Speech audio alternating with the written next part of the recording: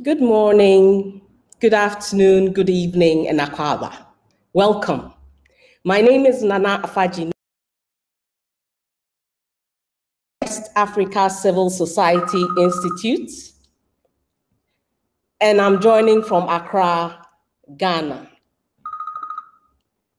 WACSI supports non-profit organizations in 17 countries throughout West Africa. And WACSI's mission is to have a strong, resilient, influential, effective, efficient, and sustainable civil society in West Africa and the African continent. And without technology today, that is absolutely unattainable. So you then understand why WACSI has been a TechSoup Global Network partner since 2017 and absolutely cherishes being part of this family that prioritizes civil society resilience and strength in spite of our diversity using technology. We have been looking forward to this summit. It's a great chance to share about the communities and mission-based organizations that serve them in West Africa and to learn about ways to improve our work supporting them. Engage community creates resilience. That is at the heart of our work here at the TechSoup Global Network. And that resonates with how civil society rallied in solidarity in spite of their diversity during the raging period of the pandemic in Ghana, other parts of West Africa, to provide support to vulnerable and marginalized groups, dipping into their personal and even drying organizational coffers to support people who needed it most. We needed each other then, and even more so now. This Adinkra symbol of the Akan people of Ghana represents unity in diversity. It's an image of crocodiles who are naturally independent animals, but they are connected at the stomach, Siamese crocodiles.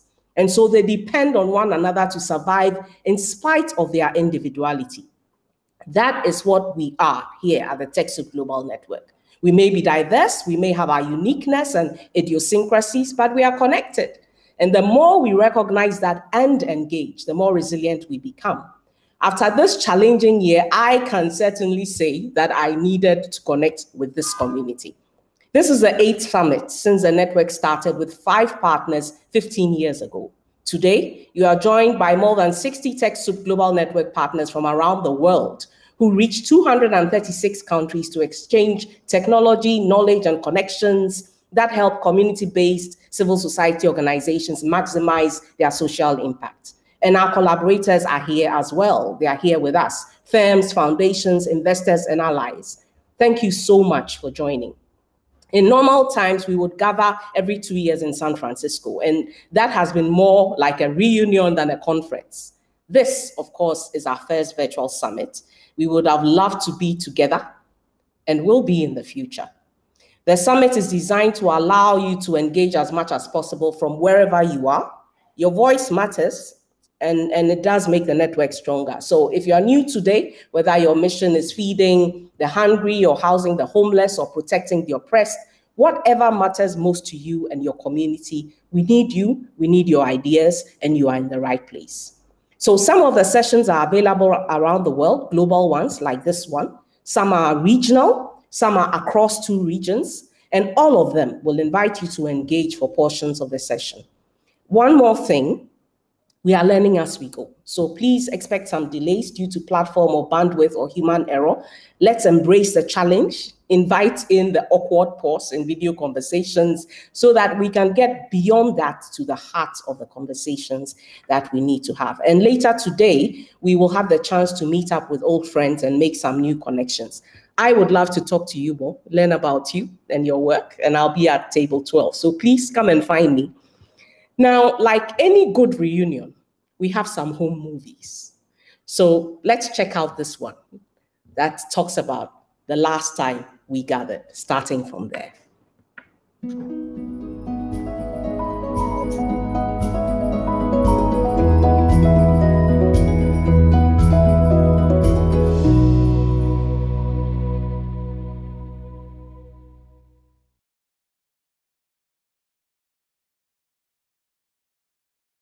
Uh, take you back first to 2019. I know it seems like a lifetime ago. the better days, the good old 2019, yes. It does feel like you're looking backwards through a tunnel um, that you're still inside of. how how are we after this uh, this this incredible in all senses of the word year I um, have a lot of good memories from the summit. The thing I remember most about the summit was being able to spend a week on the campus of that art institute. We were in an amazing setting. We were at a beautiful location in San Francisco. All of our partners together in one place. Just so inspiring to be able to sit down at a table and have lunch with our partner from Chile and Taiwan and South Africa. I often describe this event as uh, more of a reunion than a conference. You have voices from civil society around the world. I really enjoyed the opening session where everybody said hello from their country and their enthusiasm and, and recognition and you know, sort of applause for each other and, and the way that it really brought everybody into the room, I, I thought that was pretty terrific. There was just the opportunity to feel a buzz and energy, but yet have many separate conversations. Just seeing people that, you know, care about so much that we've been working with for many years and others who are new and, and having the first time to make those connections. This is our first time uh, being part of the TechSoup network. It's both overwhelming and very, very exciting. It was a great introduction to all the work that you do, all the work that you do supporting nonprofits, small and large. It is a special group. People who work for the same vision, like making a better civil society with the help of technology being in the same place together for several days makes us really feel so much more concretely how global the work is that we're doing. So when we come together, we're able to deliberate issues that one, no single organization could do on its own. And we are all aligned around the kind of work we're trying to do. That exchange of best, best practices and collective learning has enhanced our programs and projects and uh, uh, allowed us to generate more impact. It's a pleasure being part of this conversation. TechSoup is the beginning of everything. Very forward thinking and practical people and organizations represented that, that try to, to move the needle just a bit further in terms of creating a better ecosystem of support. I think that the most amazing thing we saw is the power of the network and how influential it could be uh, to really address the social problems in the world. So we are proud to share our knowledge and our interest with so many countries and organizations in the civil society around the world. There were over 400 people registered for the event. At least 50 countries, 39 languages are probably represented in this room. Seeing people build their plans around that kind of community and that sense of being together was really a, a wonderful experience. You see the scale, you, you, you realize you're a part of a of a very big, diverse uh, uh, organization, like with your own eyes. Definitely in a nonprofit space, we're learning from so many other people, who, uh, organizations that have been in the space for so much longer. I particularly felt very connected with the teams in Italy and in Germany.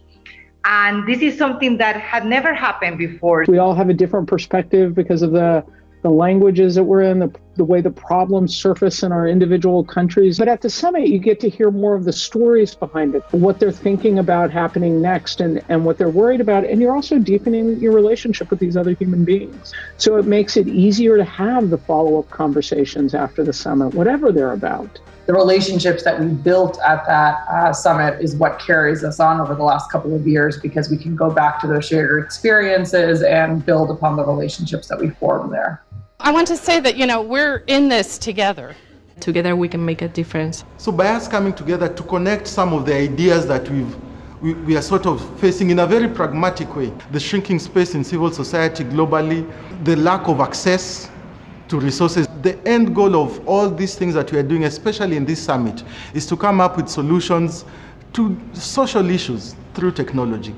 We also heard from an Asia Pacific partner who is building uh, technology to help the aging population in Hong Kong. Um, it's a great moment to share uh, all our work, our new ideas. Our knowledge, experience, programs, um, and that's huge. And most importantly, promoting education, promoting education for the young people, promoting science, promoting the arts. That's the purpose of what we do.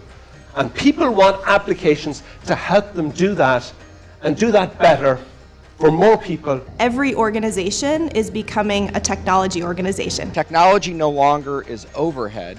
Technology is something that moves the mission forward. Nonprofits need to evolve. Nonprofits need to get trained up. Working with an organization like TechSoup helps me get one step closer to hearing the questions that actually are happening out in the sector and think about how I could best serve those questions with my solutions or with something that we haven't even thought of yet. Where we see it going is much more focused on addressing the question that the nonprofit has when they're coming in. One of the themes that we had there was understanding that we needed to help organizations move to more resilient solutions. So I think we built some of the bedrock of the programs that we wanted to launch. Hopefully that helped some organizations be able to weather kind of the, the pandemic a little better. So when we look back at that year right after the summit, the idea that it is a network, not a franchise, right? It's not that everybody's doing the exact same thing everywhere, but they're bringing their best capabilities and strength into this joint effort. We need to make each other smart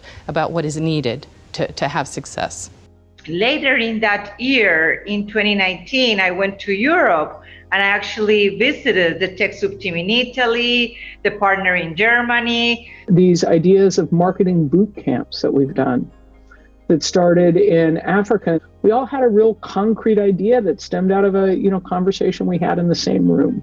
A lot of the content of the summit was about um, preparing us as a network to uh, guide us to this area of more cloud uh, and more services and training and, and other new ways of bringing value to the community that depends on us. And many of them proved to be um, excellent for what was to come in the following year, which of course none of us could have known.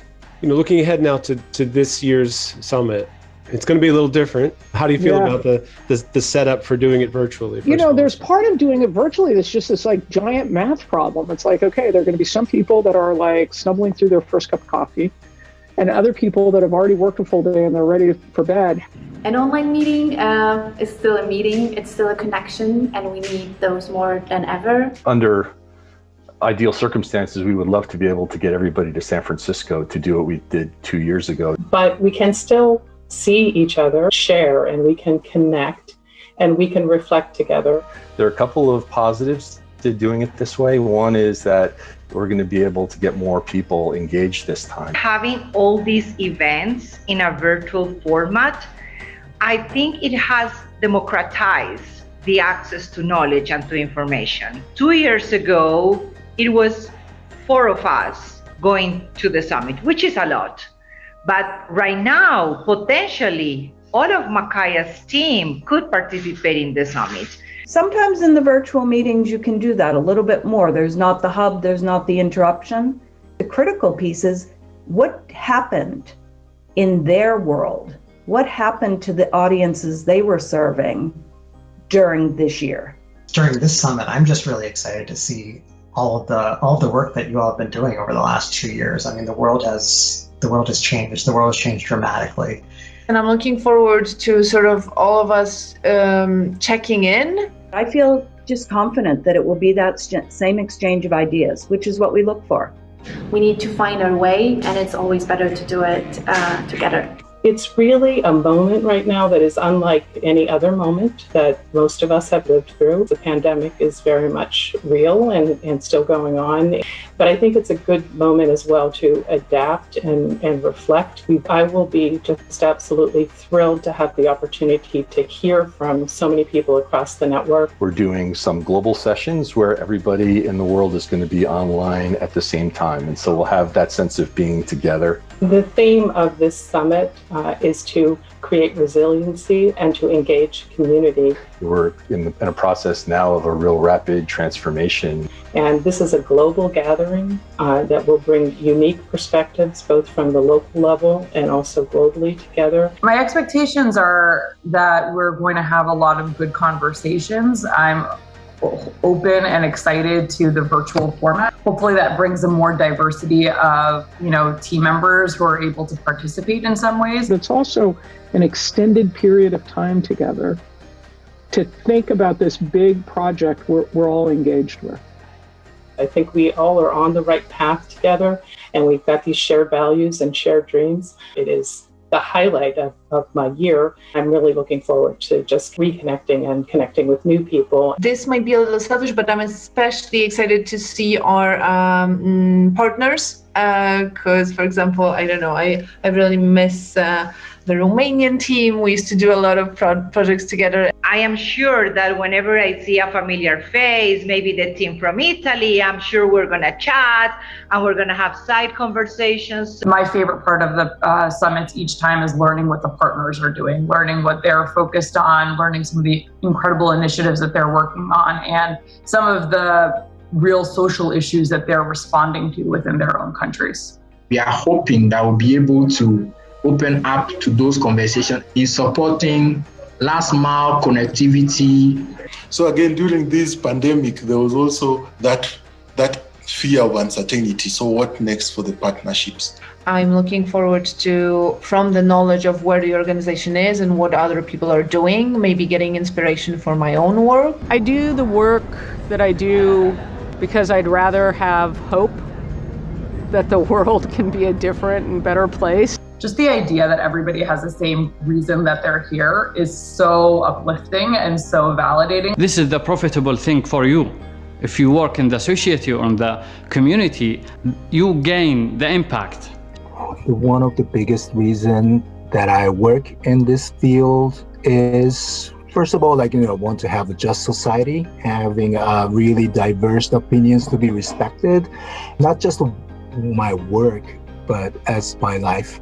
I actually find it pretty rewarding to do, so that's that's probably the why. You feel really, really good about the fact that you're helping, that you're making a small difference in an organization that's going to do, you know, so many other amazing things for society and for the sector. I, I also work here because I find it offensive that there are people that go to bed without enough to eat and without a safe place to sleep and um, without justice systems that work for them and without access to information and I don't want to work on any one of those issues. I want to work on all of them. And, that, and that's what I get to do here.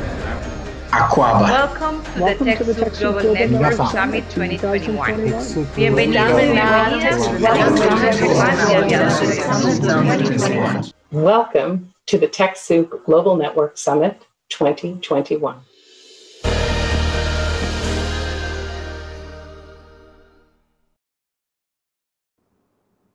And on that very warm note of welcome, it is my singular honor and pleasure to introduce to you the TechSoup CEO, Rebecca Masisak. Thank you, Nana, for the warm introduction. Excuse me, for the warm introduction. And thank you all for joining us today from around the world. The last two years have brought into focus the interconnectedness of the world and the systemic challenges we face and they have underscored the importance of the work we do together to build a dynamic bridge that leverages technology and innovation for connections in pursuit of a more equitable planet. It has been difficult in many ways, but even more so for those on the edges of society, informal workers, people who are oppressed by their governments, those not part of the dominant systems, so many who relied on the frontline connections that local community organizations and caring community members provide. The TechSoup Global Network reaches those front lines with digital tools and resources from hundreds of contributors like tech companies and foundations. Collectively, this network has created and operated a trusted supply chain for vital infrastructure to power the organizations that are the community safety nets. As the pandemic evolved, I found a growing number of reasons to be heartbroken and angry. It continues to feel overwhelming. Even so, this unique time has taught us a lot. To those of us pursuing social missions, it is abundantly clear that our work matters more than ever. Faced with more than 50% increases in demand and resource challenges, leaders of food banks got creative and perseverance prevailed. Other nonprofits repurpose their facilities or programs to fill local gaps for food or COVID testing. The ultimate safety net, the leaders of civil society organizations and movements, remain at the epicenter of local needs. Remain at the epicenter of local needs. The cooperation, innovation, and passion demonstrated brought me hope and inspiration, and reinforced the need for our programs. To sustain this global need, the TechSoup network and its contributors saw monthly increases up to 10 times former volumes for hardware, mobile hotspots, and cloud software. TechSoup courses went from 3,000 learners from 29 countries to 41,000 in 99 countries in a five week period. TechSoup's contributors rose to the challenge by creating digital tools or training to support remote situations and contributing to TechSoup's COVID recovery fund of 1.9 million, which helped thousands of organizations modernize and stay secure. NGO Source saw a 60% increase in requests for equivalency determinations to support grant making from the US to civil society organizations around the world, including one determination that was used by six funders to support CEPI, the Global Vaccine Collaborative launched at the World Economic Forum. Across the network, we met this volume of requests and innovated in real time to address emergent needs all the while, we ourselves needed to find new ways to be effective working from home. This network and our special form of collaborations proved remarkably resilient. Digital was in demand, enabling the necessary new ways of connecting and communicating, bringing emotional support, vital information, and resources for service delivery. With funding from Okta, this network and other nonprofit partners fielded a survey of more than 11,000 nonprofits across 135 countries. 72% indicated a need to rethink delivery of their services due to the pandemic, although those who had a digital strategy in place felt a less negative impact. Across all organizations, the digital adoption most frequently reported was for communications and collaboration tools. Local stories illustrate that organizations showed extraordinary leadership. The San Francisco nonprofit Pomeroy Recreation and Rehabilitation Center provides direct services for individuals with disabilities. They went from a staff and community with little access to computers and few digital skills to online classes and a new collaboration to, to deliver online occupational therapy lessons for parents. And in Poland, Society for the Promotion of Physical Culture used remote working digital tools to move Aikido trainings online, describing the results as keeping the human connection by creating the ability to see, participate, and belong. The caring, connections, and collaboration enabled by digital proved transformative across communities. This network added new ways for local community members to engage. Uh, TechSoup Italy's Facebook Live coffee chats provided cohesion and information during the worst days. In two months, CDI Chile and Wingo Argentina collaborated to move an in person event previously delayed due to civic unrest to a virtual excuse me, to a virtual format with attendees across five countries. Working with Funky Citizens in Romania, we adapted our Worker Connect app designed by Caravan Studios to protect protect the rights of migrant workers in the Gulf, to provide public health care staff a way to report anonymously on their working conditions. Japan NPO Center and Caravan Studios collaborated to train participants from across Japan in participatory design methodologies online instead of in person as they'd expected.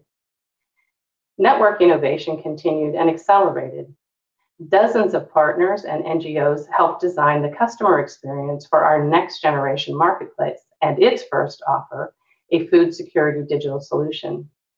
They spent thousands of hours in remote collaboration, supported by a range of tools helping us create, share, and store assets in the cloud.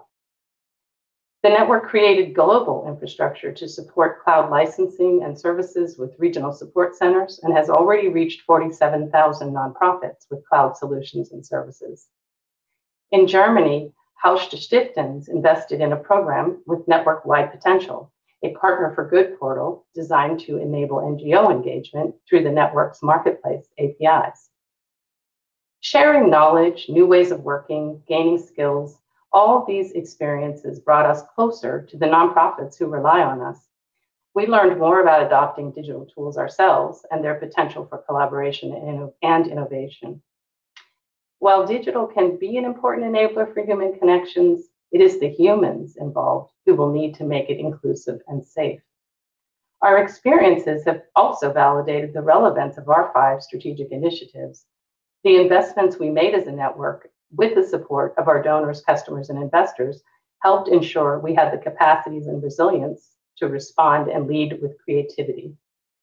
I am excited about where we will go over the next few years from transactions to relationships. We'll broaden the role of donors and nonprofits, each contributing, providing insights and connections, and opening our marketplace to more movements and apps and individuals. From tech marketplace to digital enablement for solutions, from validation services to data insights, from apps for good to digital solutions. Our business processes and cooperative technology platform investments will put stakeholders at the center, increase engagement, and enable them to continually gain value. This direction truly re energizes me. Uh, we can build on all we've done, learn from what we could do better, and innovate boldly to deliver on our loftiest dreams.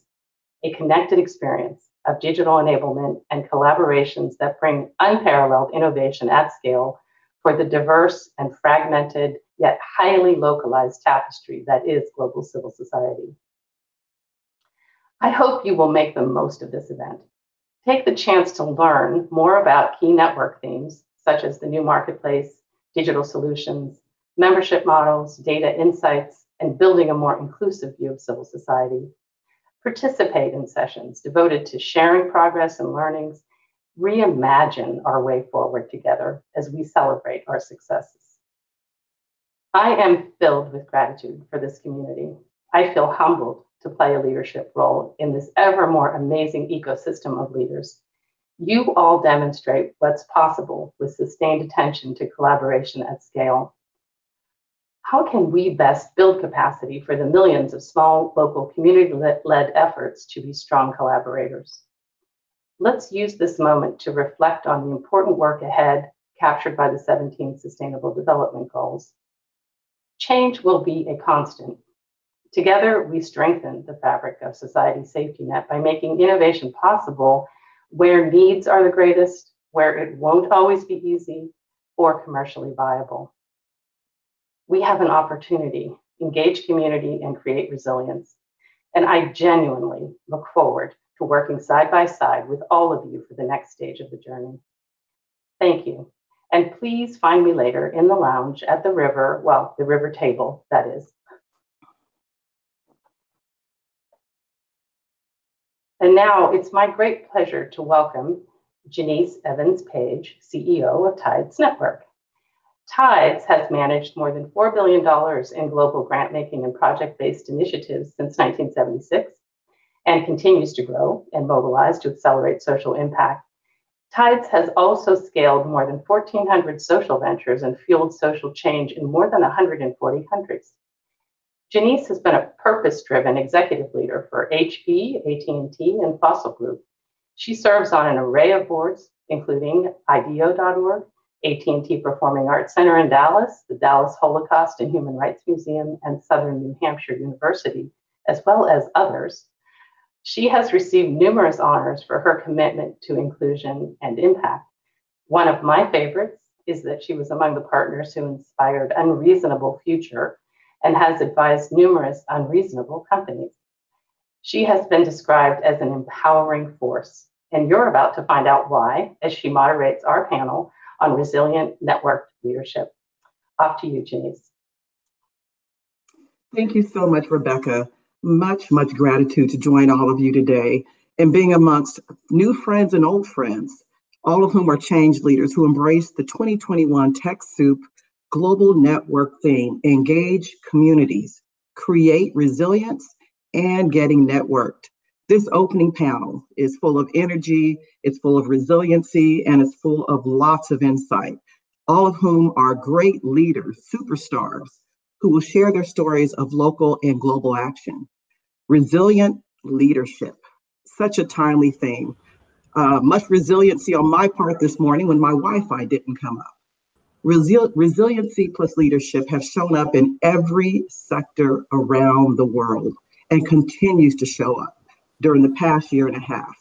If you are a parent who had to teach your child at home during the past year, you demonstrated resilient leadership just as much as any CEO that I know. We all demonstrated resilient leadership in some way. This was a year where we all got to lean in and discover that superpower. While I can cite numerous resilient milestones during my career, many were building blocks during my 20 plus years working in Silicon Valley. Little did I know that I was preparing for a year like no other. While all of us on the front lines addressing social impact and social justice really ensure that our voices are heard, I think for me, it was definitely a turning point to know that of all the things I was working on, last year was the year that was really going to matter.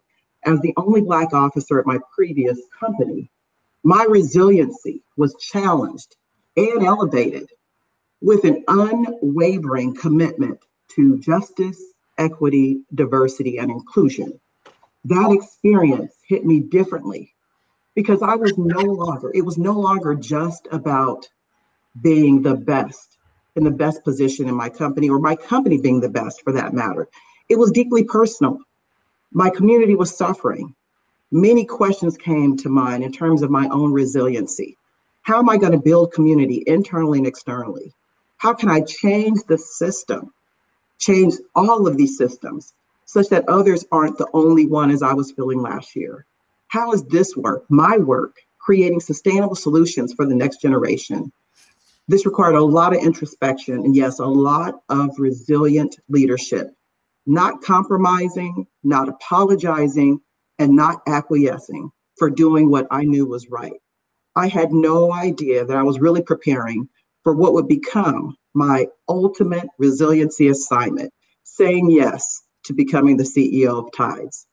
I now have the honor of introducing you to thought leaders, all of whom are resilient leaders who are driving system change in their respective spaces. I know that everyone on this panel brings with them their own models of resilience, their own aha moments, as I've had many, that have defined their resiliency superpowers. So allow me to introduce you to each one of them. Melvin Chibole joined TechSoup as managing director Africa last year after nearly 10 years as a leader with the Kenya Community Development Foundation a TechSoup global network partner since 2015. He brings more than 14 years of progressive experience working with development organizations situated in Kenya that have a global presence and reach. Melvin is joining us today from Nairobi, Kenya. Jessamine Chen drives VMware's social impact strategy focused on nonprofit digital transformation. VM software powers the world's complex digital infrastructure. The company's cloud, app moderniza- modernization, networking, security, and digital workspace offerings help customers deliver any application on any cloud across any device. Jessica also leads VMware's citizen philanthropy approach to giving, inspiring VMware's 33,000 global employees to be active citizens in their communities. She's connecting today from San Francisco Bay Area.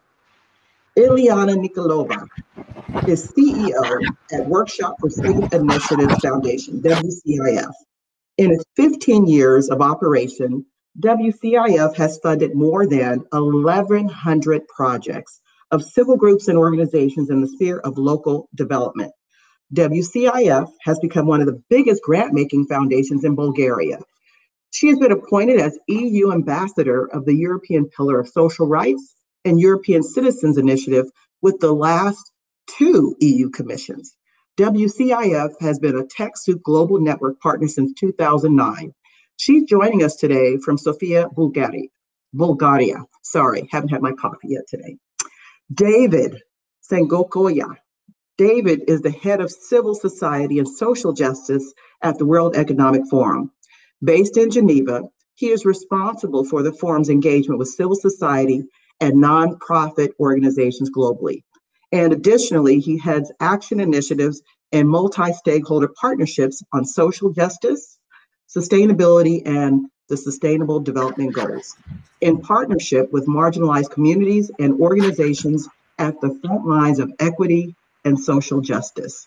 And last but certainly not, least is Li Yi. Xiao, who leads Frontier Foundation's TechSoup program in Taiwan, helping nonprofit organizations at the front lines creating strategies for digital inclusion and developing relevant content for the community. For over 25 years or 27 years, Frontier Foundation has ensured that minorities can connect to the internet and participatory discussions with organizations. Frontier Foundation has been a TechSoup Global Network partner since 2008, and Lee is fascinated by the power of people. She was the chairperson of Taiwan LGBT Pride in 2020, which drew over 130,000 people to join in the march. She believes that no matter how fancy the materials and technology are, we humans always have eternal soul issues. And she is joining us today from Taipei City. Welcome to all of our illustrious panelists. So I know we want to get started, but I thought that the group might want to know what do we mean, we, this panel, mean by resilient leadership? We spent some time talking about that.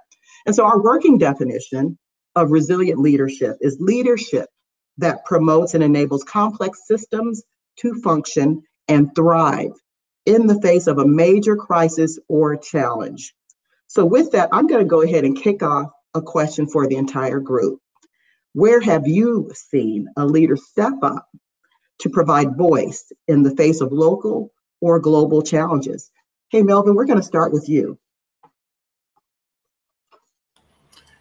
Thank you, Janiece. Again, a pleasure to be part of this very powerful panel. For me, it was actually from a very unlikely source. It was actually a it, it, it was actually a private foundation that came to, to mind when I thought about um, leadership, especially during this difficult time.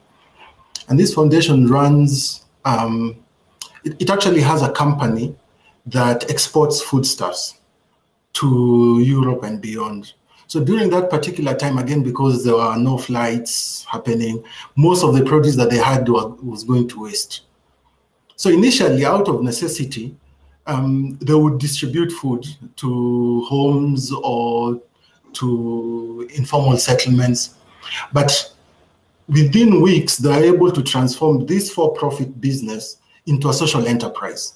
So beyond just distributing the foodstuff to the informal sector, they almost started having a, a supply chain where women would go get the produce and go and sell at a discounted rate within the informal settlements. The ones who are not able to purchase the products then were given as a donation.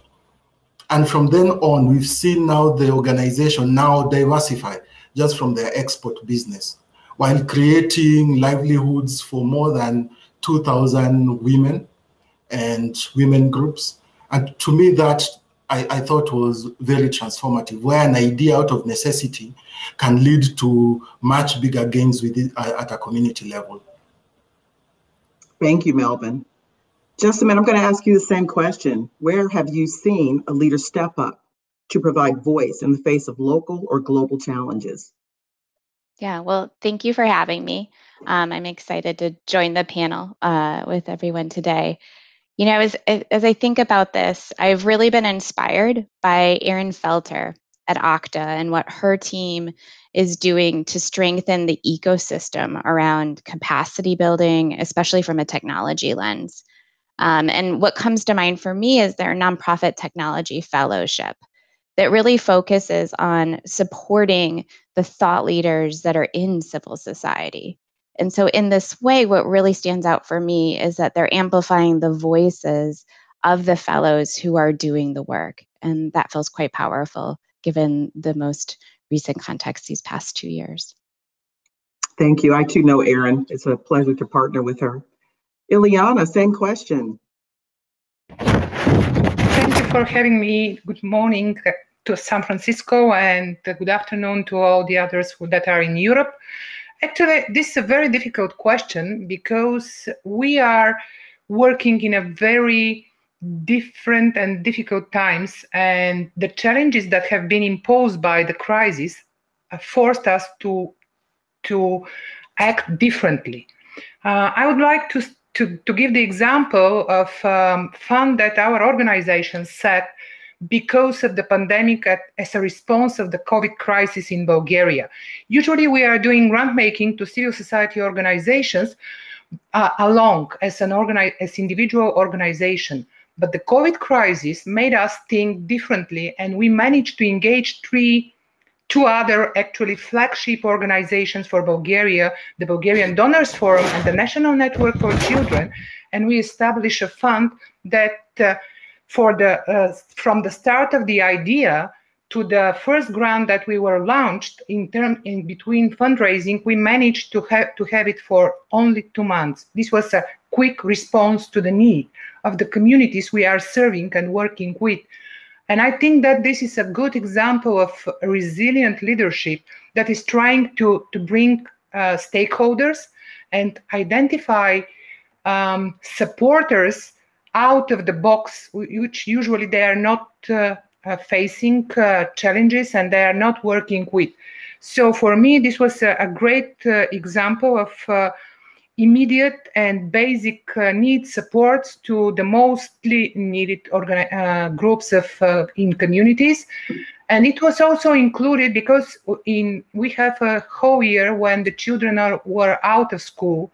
Actually, they are working online, and we managed to identify possibilities to uh, bridge the gap of uh, digital divide, uh, giving the possibilities to families to uh, get equipment and subscription for internet, so they to be able to continue the children to continue to to attend schools. So for me, this is the, the leadership is uh, getting um, allies and building trust in community.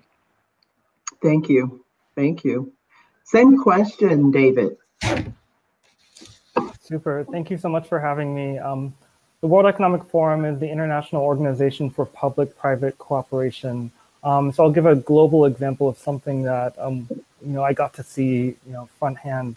Um, this is we brought together 25 leaders um, from across civil society, business, government, um, six months after the pandemic, around what we call a global future council on systemic inequalities and social cohesion putting in the ground that this needs to be on the global agenda. And from these leaders, it's been a journey after, uh, for the last almost year as you've had, you know, all the different things that have happened around the world related to the pandemic. Um, and you've seen, I've been able to see these leaders think deeply about what's needed during and beyond the pandemic, um, how to grapple with intersectionality in a real practical way.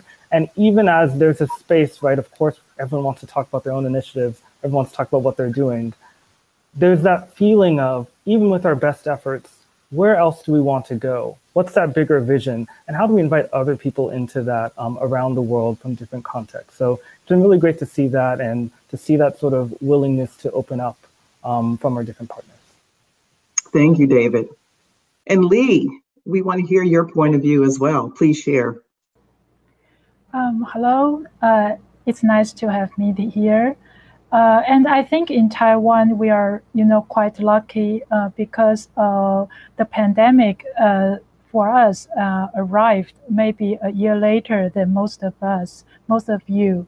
So I think during this time, since the pandemic erupted this May, I think I find that almost everyone has the potential to be a leader. Um, in my thought, yeah, because uh, people, uh, when they are uh, in the right position, then they can, they don't know their potential. But when the crisis happens, then we find that even the uh, most normal people uh, can provide uh, his or her help during the pandemic. And of course, uh, in our government, uh, we have Audrey Tang. Uh, she's a very special people because she's the one that, you know, uh, for the civic hack movement, she hacks into the government. So she also uh, provides, uh, you know, a lot of IT advices and uh, assistance and the needs, and uh, collaborate with the government and the open source community, and all the big cooperates together, and of course, uh, all the engineers from the fields. So that's what I observed in Taiwan. Thank you. Thank you. So I'd like to zoom in on some of your experiences so we can showcase how each of you have been able to implement resilient leadership at different levels from local to global. So we're going to go in opposite order this time. So Lee, you're on. Because you work with nonprofit organizations at the front lines, you are truly on the front lines. Let's talk about grassroots collaboration. Many of you have been focused on resilience for years. How does an organization's established history and trust play in building leadership that withstands shocks? Uh, I think for us, I think uh, because a Frontier Foundation has been established uh, nearly 30 years, I think, and I think when people think of us, uh, they know, they get the deep impression that, oh, when you think of NPO and the technology, and you think of Frontier Foundation. And of course, we know that um, technology is just the medium. It's the services, the advocacy, the uh, the mission, and the, all, all, all these the services we give uh, that matters. So I think for us, uh, of course, we are not you know super a woman or superman that we are capable of all the technology, but we care about the trends. And uh, you know that in Taiwan, like many Asian countries, uh, we often face a lot of natural disaster uh, disasters. And in Taiwan, uh, because of our uh, special political situation, uh, we often meet a lot of crises. So for us, I think uh, our role is to support all the NGOs and the communities uh, without any condition. And uh, when people think of uh, uh, they need some solution, uh, they can come to us and we can try to collaborate with the best advisors. And we try to give them simple and agile solution to them. So I think, of course, we it seems like we are quite stable organization, but we are very flexible, and uh, uh, we also focus on all those you know facilitation method, and in the spirit of the facilitation, uh, open-minded, and the together the wisdom of everybody is very important.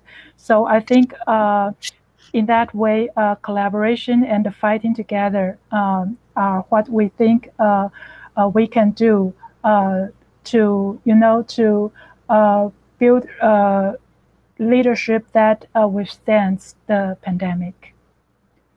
Thank you. And I don't know, I think you are a superhero. So let me just say that.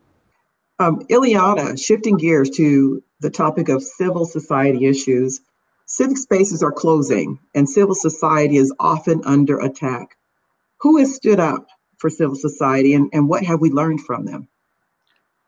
Actually, uh, shrinking civil space is a trend that is spread in Central and Eastern Europe and probably, and probably elsewhere in the world in the last several years. And when I'm talking about shrinking civil space, uh, I mean different measures that prevent civil society organizations and their members from implementing actions towards achieving their democratic goals. And this is very um, um, difficult situation. Bulgaria unfortunately is progressing in that direction very quickly. Uh, and the last year, we have observed a very uh, difficult situation when the part of the governing coalition entered an amendment of the law of the civil society organizations, uh, the NGO law, uh, where they tried to introduce the concept of foreign agents. This is something that we have observed in Russia, and that is that has happened in Hungary and Bulgaria was trying to follow that steps. Uh, in the midst of the crisis, on July 1st, actually they they sent to the parliament this amendment. And what happened is that the civil society organizations managed to organize um, huge um, company uh, or coalitions to fight against this um, this was the first attempt in which the civil society in Bulgaria managed to attract different stakeholders to support their fight. Um, CSO managed to attract um, citizens, individual citizens, media, the progressive media, uh, foreign country ambassadors, and international organizations. the um, there were a huge uh, flow of uh, opposition uh, sent and opposition letters sent to the parliament. Uh, one of each, uh, more than 26 such letters were sent, and some of them were signed by, for example, 300 organizations, which is the biggest number of appeals one, uh, signed by one organization. when I'm speaking about um, the shrinking civil space, uh, I would like to say that um, from that uh, experience that we gained in uh, last summer, we learned some very important lessons. The first one is that uh, trust is something that really matters in such process and building trust is a big task for civil society organizations and it's a very important leadership quality uh, people trust other people and uh, does their org and they trust the, the people's organizations rather than organizations to people.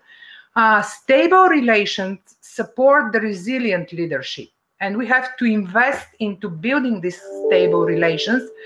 Uh, critical mass of uh, stakeholders is also very uh, good uh, way to find and identify resilience uh, actions um, business companies, uh, which are not the usual suspects in such endeavors, for civil society could be a very important stakeholder and supporter, and we need to attract them and to build relations with them. And one um, last but very important thing is uh, the education the education about democracy, about citizens' participation, about human rights, about the understanding of the concept of social justice um, in the wider society and in the next generation civic leaders is very important. We need to have a society that understand these concepts and are ready to support civil society organizations when they are fighting for social justice, for example. Uh, also, another important lesson is that empathy uh, and solidarity in the society should be nurtured by civil society organizations. So uh, in the bad thing of shrinking civil society, there is a good sign, and this is the uh, trend that uh, community members, civil society leaders are ready to address the challenges in different ways. Thank you. People trust other people. Absolutely. I'd like to talk about collaborations for emergent needs. Melvin, um, you've seen many development initiatives focused on Africa do any stand out stand out as collaborations that are having more success? What can we learn from them? What trends do you see in terms of organizations who are stepping out of their comfort zones to meet the emergent emerging needs of our communities? And what barriers are constraining leadership? I know there's a lot to unpack there, uh, but would love your perspectives.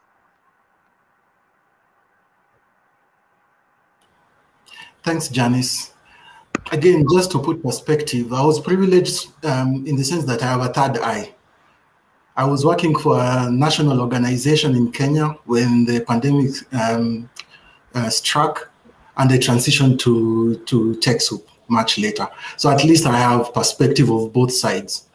But to be fair, there are many there are many examples of initiatives that stand out in Africa um, be it improvement in healthcare or standards of living in terms of having livelihood programming. And all those are good.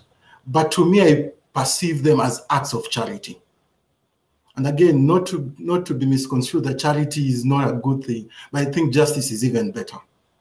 So some of the things that I'm looking at in terms of um, programs that will stand this, the, the test of time would be programs that are based on ideologies. And one of the ideological issues that are being discussed now would be reimagining aid or localization, as it were. The only problem with localization in terms of language, it, it almost presupposes that those organizations have no exposure. So I don't want to use reimagining aid. And conversations are happening, very difficult conversations about race, conversations about inequality, conversations about women's rights, uh, sexual harassment. And as, as those conversations are happening, at the very grassroots level, there was another movement that was coalescing itself. And, and it has been mentioned in different places. But again, to just give mention to it and give it primacy is what we call the uh, conversation movement. People talking and connecting and discussing issues that perhaps have been very difficult. Conversations, journeys that you know are very difficult, like white supremacy. Conversations as uh, the Black Lives uh, Black Lives Matter. Conversations on um, rights of women in terms of their reproductive rights. And these conversations are joined through race, they are joined through age groups, they are joined through um, identity, and they're more brazen because the condition is, is, is right. The thing that uh, COVID did was to almost shine light to some of these inequalities that have always existed. And it was very clear that there needs to be a new paradigm shift. And how do you change the paradigm? You change the paradigm by making the old obsolete and making the new one stronger and more effective.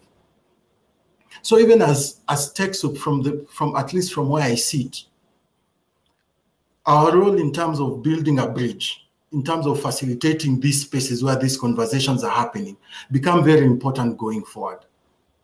Either promoting, either naming these conversations, illuminating these conversations, nourishing these conversations, with technology playing a very big role in promoting all this. Then you start now moving to a slightly higher level of justice, where you see now we can come to the table both as a funder or as, a community that has always been relegated to a, a place of passivity, discussing how best for the aid flow to, to go through. And the one thing that I noticed at that time, because I was like I was working at the community level, there was a lot of collective action. And to me, actually, if I look back, communities are the true uh, leaders, as it were, because no one was rich enough to receive or poor enough to give.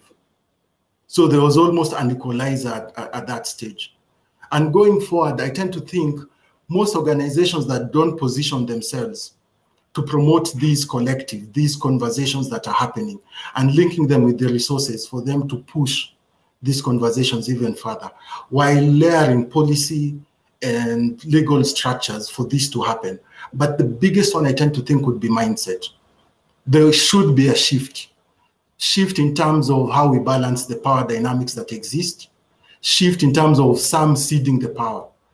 Yet, within a sector, we find ourselves almost at cross purposes. Some who are willing to shift the power, some who are still status quo. But I tend to think going forward, it will be very clear, especially when communities are regaining their power, are able to speak out in a way that they've not spoken before, and then giving whatever it is, not just as an act of charity, but also as a force for charity. Thank you, Melvin. I think you and I are going to be doing some, uh, some powerful work together, to say the least. Jessamine, along those same lines, what infrastructure and capacity building do you think can support established and emerging leaders? Yeah. So while I'm a big fan of the importance of a digital foundation and leaders and organizations having a roadmap for their digital journey, I think in the context of the conversation of what Ileana spoke to around empathy um, and what Melvin just spoke to around sort of the conversation movement and justice, I would say the capacity building that really feels paramount is within oneself. Um, and so, regardless of if you're an emerging leader or an established leader, is we all feel that pressure to act and to respond. And that in urgent situations, it can be hard to really create that space to suspend disbelief, to suspend action. And I think the importance, I really believe in the importance of a pause, right? To tune out the distraction, to identify our bias, to acknowledge our assumptions, and to take a moment to really be in solitude.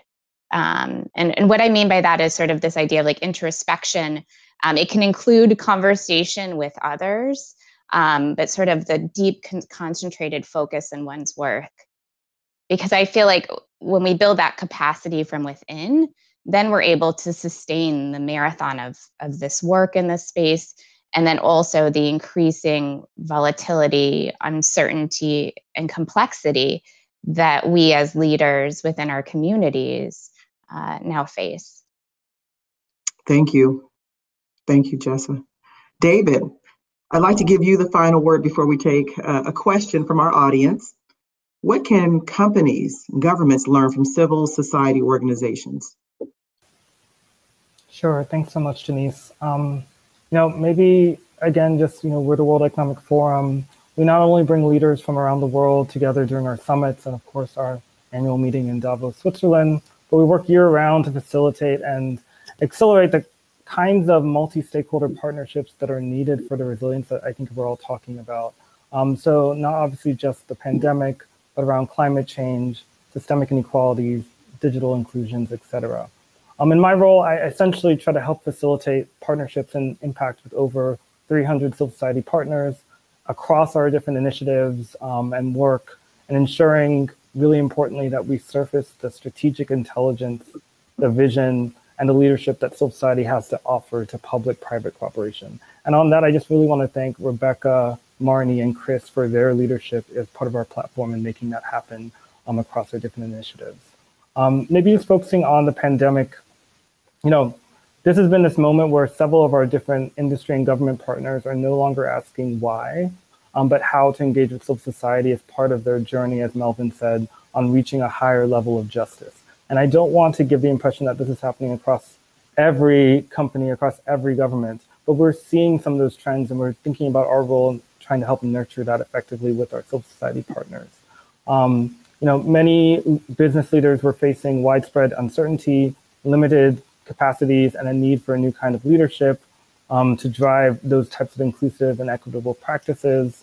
Um, those things, of course, are all part of a day's work and a regular day of being a civil society leader, right, from many parts of the world. And during the pandemic, we saw increased openness from our partners um, to re-engage communities, to re-engage civil society in their own efforts to build back better. There's, there's a kind of an appetite, if you will, um, to figure out how to get it right when it comes to recognizing more fully the inequalities that they're seeing um, within our systems and then integrating social justice, not only in the workplace, but putting equity in action with communities. Um, and yeah, so often civil society, the, our partners there are well positioned to provide both innovative and inclusive solutions um, at the table. Um, I, can, I can give a couple of examples of that. So of course, on the digital divide and connectivity, um, you know, TechSoup, Makaia, Rhizomatica, several other folks who have been speaking and providing leadership in connecting the unconnected in Latin America and co-designing the right policies and capacity building that you need to scale solutions.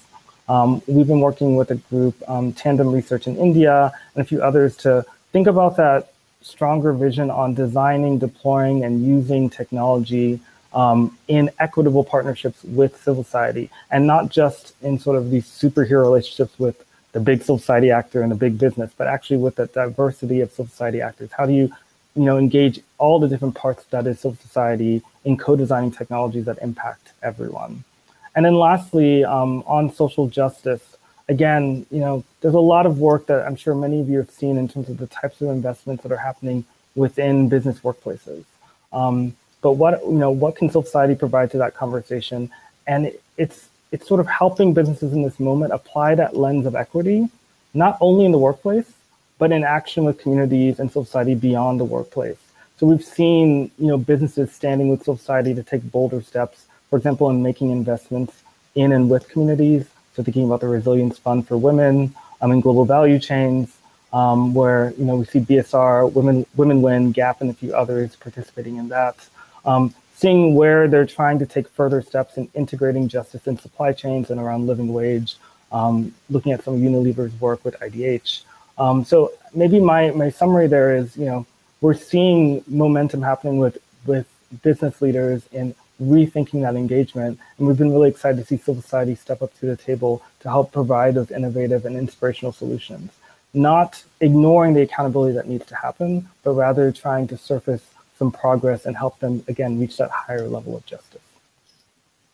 Thank you, David. So we do have um, a question from the audience. Um, so uh, by all means, anyone jump in. Um, Given the definition that we provided earlier in terms of resilience, the question from one of our audience members is, could panelists please provide examples of how resilient leadership has directly supported their organization or nonprofit or positively impacted was the question. Um, or it could be corporation. So by all means, um, Jessa, if you two would like to uh, provide a perspective. Anyone? Well, I guess since I said Jessa, not to put you on the spot. yeah, I'm happy to speak to it. Um, you know, for me, I would say in that context of the resilient leadership and, and sort of what I've seen over the last um, over the last year and a half or so is sort of the emphasis on people, right, and the relationships. And oftentimes with VMware, we talk about our culture of well-being. Um, and and so within that context, I think it's sort of as you think through, yes, we all have our, our mission or our goal or objectives and the importance of that. And then also recognizing, right, the, the sustainability of our efforts as people, right, as our teams, as colleagues, and within a broader community. And so I've seen that tangibly within my own organization um, and how our leadership continues to bring that to the forefront. Um, and I think that's an important modeling um, because it's oftentimes uh, glorified within within communities uh, to keep going, right? To to be busy, to be uh, uh, to really stretch ourselves, and I think that is at the heart of resilience is holding space for that. Thank you. Anyone else? I, I can go next. Thank you. Again, yeah, just again, almost likening the two environments that I was in. Resilience leadership, at least at that time, I worked for a grant making organization. But because of the situation that we found ourselves in, we had to throw away our development tag, our grant making tag, and throw away the playbook and convert ourselves almost overnight to become a humanitarian organization so that we are able to react fairly quick. We are nimble in terms of making decisions. And we look at communities because we reside with, we are nimble in terms of making decisions. And we look at communities because we reside within those communities on how best to either move the resources because resources was the biggest thing that they needed then. And and and and just seeing how best can we incorporate some of the self-organizing that that exists within communities. And they didn't need much. Most communities didn't need much. They just needed facilitation here in terms of data bundles or talk time for them to self-organize. Because ideally they would pick, they would pick themselves in terms of who was the most at need. And I tend to think that's a practice that will continue being there. We'll start seeing bloodlines of specializations of organizations, and we'll start seeing what in, in, in, in the development sector we are called generalists, although it has been it has been connoted to mean you're not good enough or you're everywhere doing anything and everything.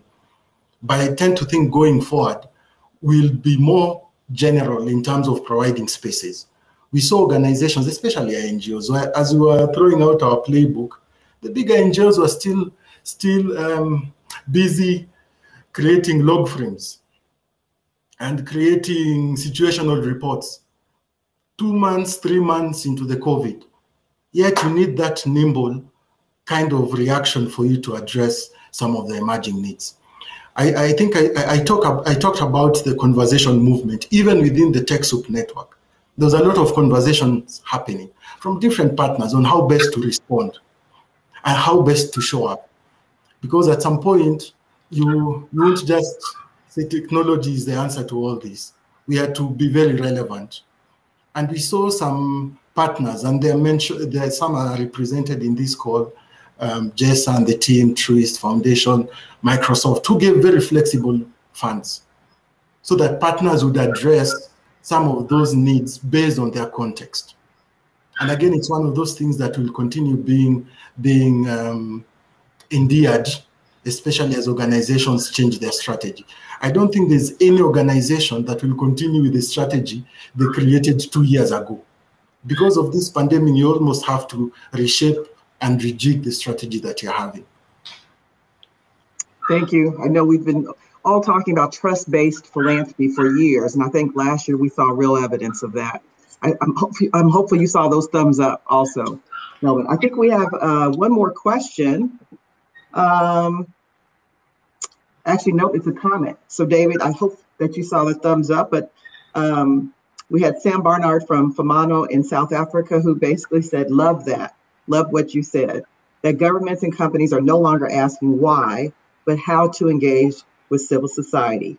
What is one thing that will be most important for that looking forward? So we have three more minutes. Anyone have a short answer to that question? Ileana, I'm looking at you just because you're at the top of my screen. okay, um, because uh, to, to follow on what we just talked, uh, actually we are also a grant making organization, uh, but uh, I would like to, to, fo to focus on some other activities that we have been doing, and it is about the emerging leaders. I mean, nurturing the next generation of civic leaders. And I think that is very important. And I was trying to to give the example of uh, we have an initiative that is called Next Generation Civic Leaders Initiative um, that trains leaders and provide mentors to them to help them to step to up uh, in response to the global or local challenges.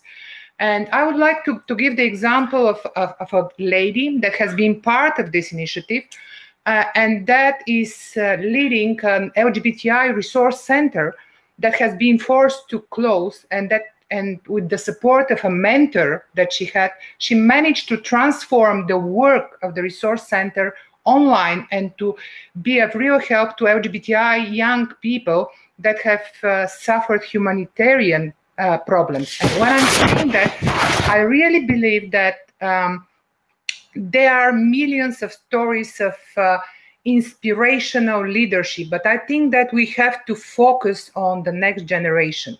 We need to mentor to help those people to be able to continue the work that we are doing, to follow their goals, to be brave enough to approach issues, uh, global or local, in different way. Because so far we have been following some examples and trying to solve the issues, but probably it's time we to identify people that are ready to um, approach the issues in different way and technologies are probably one of the of, of the things that we can do uh, but also um, mentoring and nourishing um, how to say um, the readiness of those people to to to take challenge and to overcome all the uh, hardship that the, the, or the goal could accompany, it is very important. And for me, this is the most important thing of the current uh, leaders,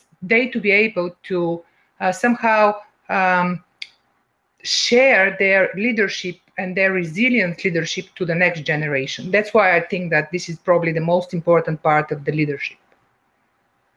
Let me just say thank you, Ileana. I think that's the perfect, perfect way to end this important dialogue is how do we enable and support, and in some cases, get out of the way for the next generation. So thank you, thank you, thank you. I want to thank all of you, uh, all of the panelists today for your participation and your fierce, resilient leadership. Uh, it, it, has truly been my honor to be in community with all of you today. And this is certainly the time that I think we will leave here thinking about what needs to change in terms of this next chapter of resilient leadership. So with that, we actually will segue to our friend Ken Sonoda. But once again, one final thank you. And I'm hopeful all the audience here will join me in thanking the, the panelists today. So with, with that, Ken, it is my privilege to introduce you this morning, or morning for me still, good day for most of you. Ken is Vice President, Network and Development with TechSoup. I think the topics we've covered have teed you up quite well, Ken. Thank you. They sure have, Janiece. Thank you so much. And it's such a pleasure to be here with you today. And it's my honor to be in a role that serves the TechSoup Global Network and our amazing partner organizations around the world. So, first off, I would like to thank our event partners um, for this year's TechSoup Global Network Summit. We are so grateful uh, to you for providing support that enabled us to reimagine this year's summit as a virtual global event.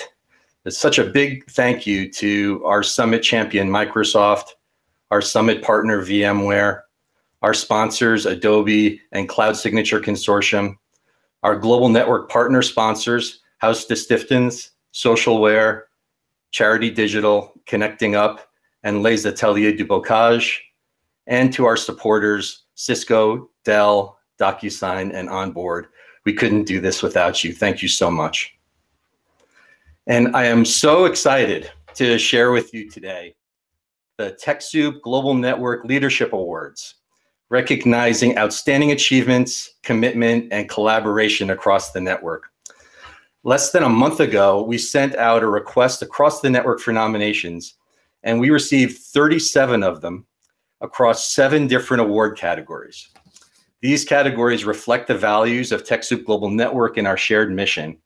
So the categories are demonstrate resilience, engage communities, drive collaboration, strive for inclusion, promote trust, be resourceful, and show inspirational leadership. I have to say, it was incredibly inspiring to read all the nominations. There are so many stories of collaboration, leadership, and resilience. It gave me an even deeper appreciation of the magnitude of the impact that we collectively have as a network. So we decided that these nomination stories are so inspiring that rather than selecting just a few of them for awards, we would like to recognize all of these incredible individuals and organizations over the course of the two weeks of the summit. We know that so much of the work that you do often doesn't get widely recognized, and here's an opportunity to really celebrate your accomplishments. So um, before we get started, I'd like to ask for your help with something. So if we were all gathered in the same place physically today, we would have hundreds of people cheering loudly for each of the award winners. So we won't be able to do that today, but I still want to cheer very loudly for all of these awards. So I'm going to cheer as loudly as I can here from California. And I invite all of you to please join me. So when I give the cue, I'd like you to please cheer loudly enough so that we can hear all of your voices all the way around the world. So let's have some fun with this and, and play around with the virtual format here. And let's get started. So it is my honor to share the first five award winners today. And we will recognize 32 more in different ways during the summit. So first, I would like to recognize the work of one of our amazing partners in the category of promoting trust. When COVID-19 um, struck last year. Kenya Development, Kenya Community Development Foundation, KCDF, took action immediately, offering locally relevant courses to ensure nonprofits were able to learn how to continue operating remotely in the communities they serve. They took the lead and did extraordinary work to get remote courses to Kenyan NGOs very early in the pandemic. By showing relevance and agility during the pandemic period, KCDF continues to provide invaluable input in shaping TechSoup's courses as we broaden our offerings to nonprofits. So we would like to recognize Natasha Marigu and Lydia Wangeshi and the entire KCDF team for their work promoting trust and the health of civil society organizations during a very challenging time. So thank you. Let's hear a very loud round of applause for KCDF and team.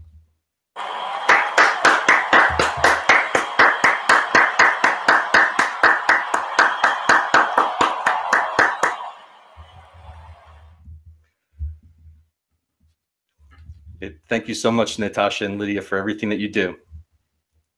So next, I would like to move to the category of engaging communities. And I'd like to recognize a TechSoup partner who is doing remarkable work with communities in his home country of Chile. This gentleman has had incredible results, aligning his organization, CDI Chile, with TechSoup's mission.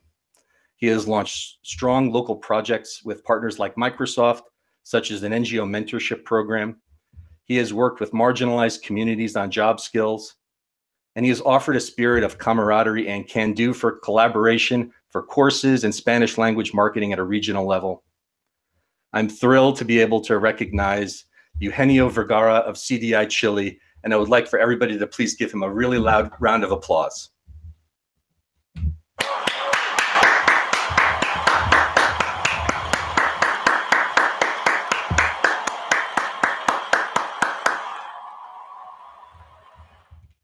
Thank you so much, Eugenio.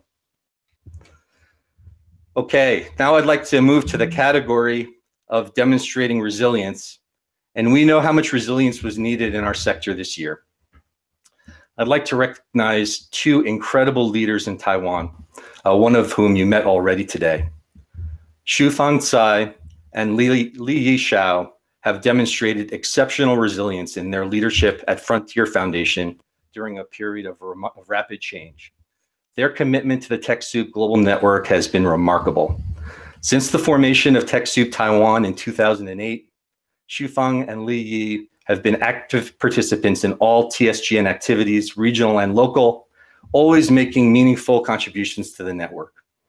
They have been flexible in working through sustainable business models, as well as experimenting with new projects and initiatives for TechSoup and the NGOs we serve. Their close connection to the NGO sector in Taiwan and their drive to support NGOs, often un under trying circumstances, has been exemplary. So please join me in giving a big round of, of applause and thank you to Shufang Tsai and Li Yishao and the Frontier Foundation.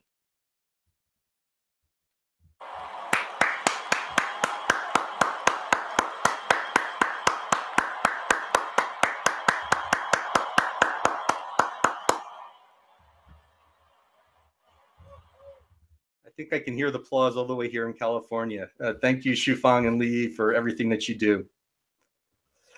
So next, um, the next category recognizes inspirational leadership. And there are so many examples of inspiring mm-hmm. leaders across our network. Today, I would like to recognize two of them. Casper Bodano and Marie Tolstrup Hansen of Friese, our partner in Denmark. Our footprint and impact in the Nordic region over the last couple of years has changed significantly with the departure of our Swedish partner Social Forum Friese has openly and enthusiastically embraced the challenge of taking on a regional role to help us navigate this period of change through, through the leadership of Casper and in close collaboration with Marie, the TechSoup program manager. Their commitment and enthusiasm to work work out not just how to manage, but how also to grow our programs and in impact in Denmark, Sweden, and Finland has been inspirational. So I'd like to please ask you to join me in applauding the inspirational leadership of Casper, Marie, and Friese.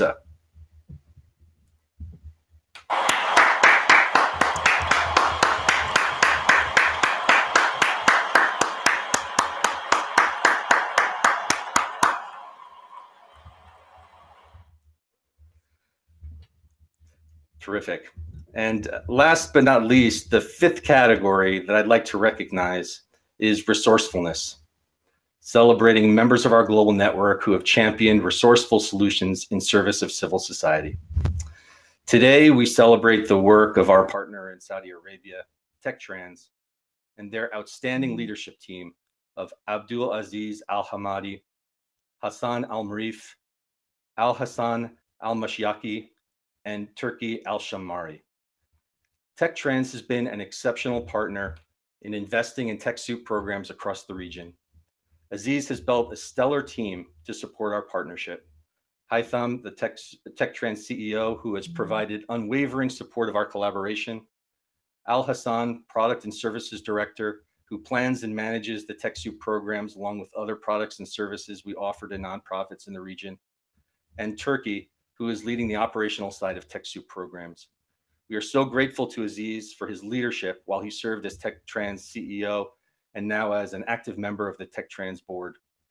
We would like to recognize the TechTrans team for consistently stepping forward to find resourceful solutions to the many opportunities for our partnership and for their leadership and vision in supporting TechSoup. So a big thank you to the team at TechTrans.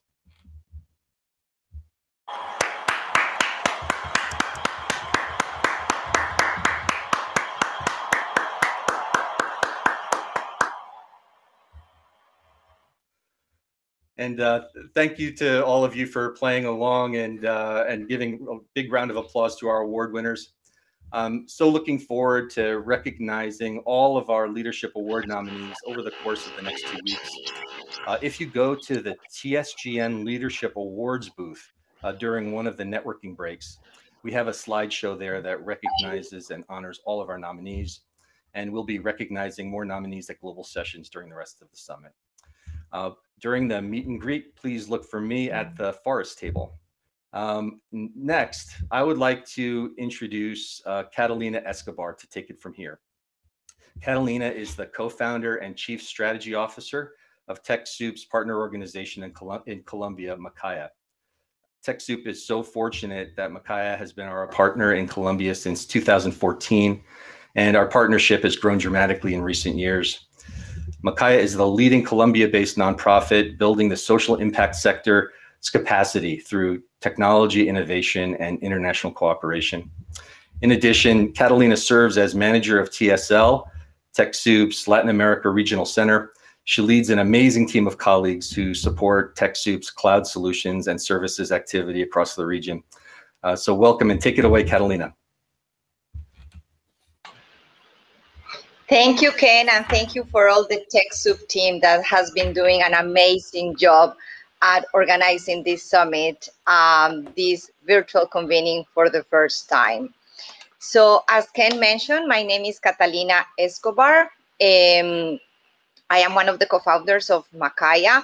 Makaia is a nonprofit based in Colombia that builds capacities for social development through technology, innovation, and cooperation.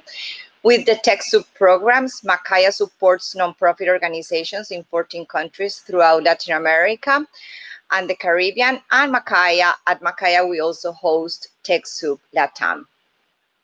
So um, I have the job at sort of closing this session and telling you what's next. So be prepared for the next session for meet and greet. I mean, I'm really looking forward to it.